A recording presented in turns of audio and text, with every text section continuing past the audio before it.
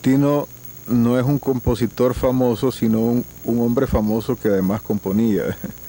No se sabe si Tino es más famoso por ser Tino que por ser compositor. Era un hombre de una popularidad increíble, como te decía al principio, con centenares de amigos. Era muy difícil no ser amigo de Tino. Y se, los, lo sintieron todos los que lo conocieron, que fueron muchos miles de personas. A eso se sumaba su fama de compositor a los pies de mi granada, alfombra recamada de su lado de Turquía, donde hay fantásticas isletas, tejidas a calcetas por las manos y un Esas isletas son el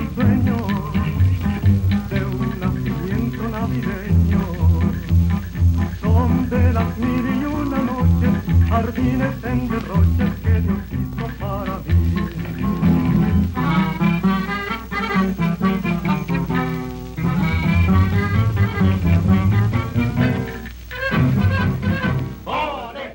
Y hasta aquí su programa Así es Nicaragua.